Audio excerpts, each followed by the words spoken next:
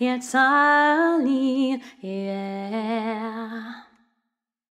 One happy birthday dot com.